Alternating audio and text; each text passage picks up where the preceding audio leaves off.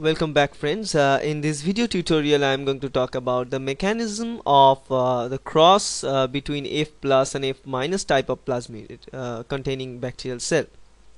Now we previously talked about the F plus type. F plus plasmids mean uh, they are the F plus type of bacterial cell mean they carry the fertility plasmid with them.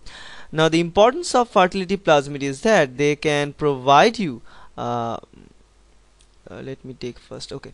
They can uh, provide you the important necessary ingredients uh, which are really really needed for the conjugation purposes. Uh, okay. Okay.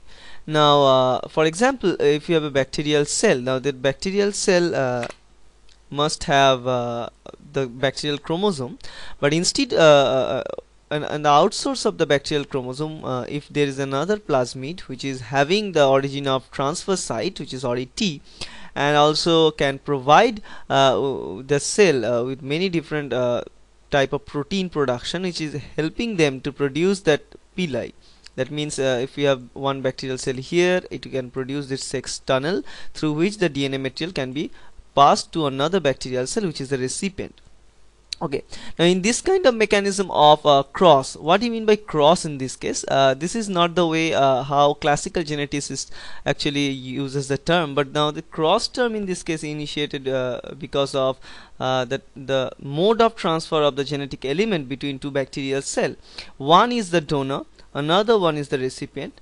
So the transfer mode of gene between these two are called the cross or in between these two right so let us first think about uh, this cross. Uh, so what what happens in the very first step is the pair formation so the donor cell here it is uh, the plus plasmid which is having this extra chromosomal DNA which is having the fertility factor. But on other hand we are having the recipient cell which is not having any fertility factor. It is only having its chromosomal DNA here. Now uh, uh, for this purpose the very first step is the pair formation between these two cells. One is the donor another one is the recipient.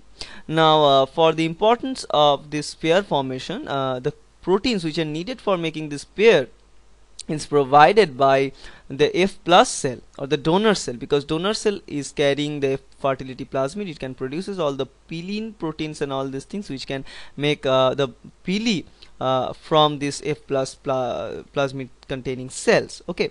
Now uh, after the pair formation the second step come in which is called the DNA transfer.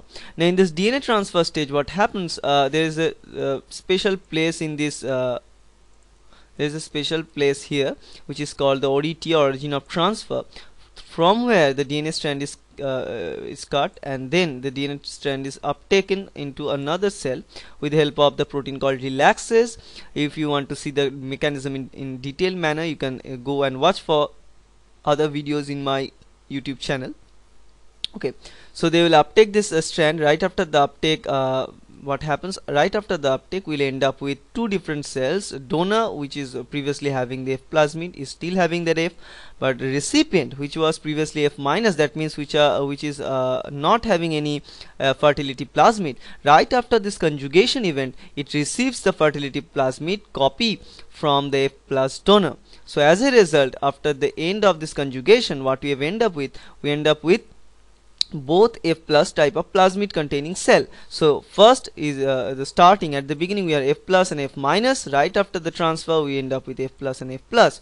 Now another important thing you must uh, notice in this uh, process is that the DNA which is the extra chromosomal inheritance uh, here uh, which is uh, transferred from one cell to another cell is not incorporated with the chromosomal DNA. So the extra chromosomal DNA is nothing to do with the chromosomal DNA in all these cases okay so in this case that is another important thing. So the cross between F plus and F minus never deals with the shuffling of the chromosomal and non-chromosomal DNA so the chromosomal DNA remains as it is but the extra chromosomal DNA which is the F factor is transferred from one cell to another cell. Okay. So that's it and I hope it will help you. Thank you